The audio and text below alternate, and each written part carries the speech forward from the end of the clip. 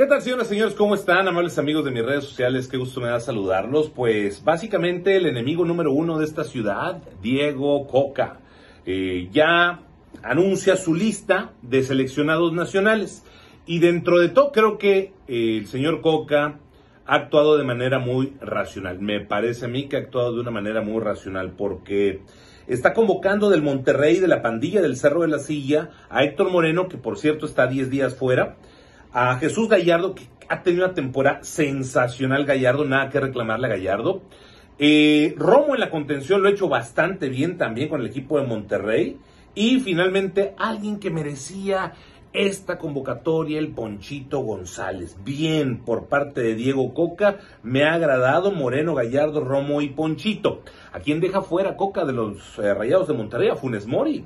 A Funes lo deja fuera, el goleador histórico, y deja fuera, bueno, más bien, Montes ya no pertenece a la institución, Montes pues viene de parte del eh, español de Barcelona y él sí está convocado. Mientras tanto, de Tigre Racita, Angulo.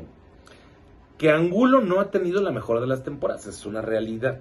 Diego Laines, que es más que suplente con el Chima Ruiz. Angulo, Laines y Córdoba, que ahora con la lesión de Guiñaca ha entrado el terreno de juego a ser titular con Chima Ruiz. Angulo, Laines y Córdoba. Me parece que buena convocatoria por parte de lo mejor que tiene Tigres de sus mexicanos. Los demás Tigres, eh, tú, sabes y todos sabemos que basan este tema de los extranjeros, ¿no? La fortaleza de la institución de la organización. Muy bien, amables amigos, ahí está Moreno, Gallardo, Romo y Ponchito, Angulo, Laines y Córdoba, el enemigo número uno, Diego Coca.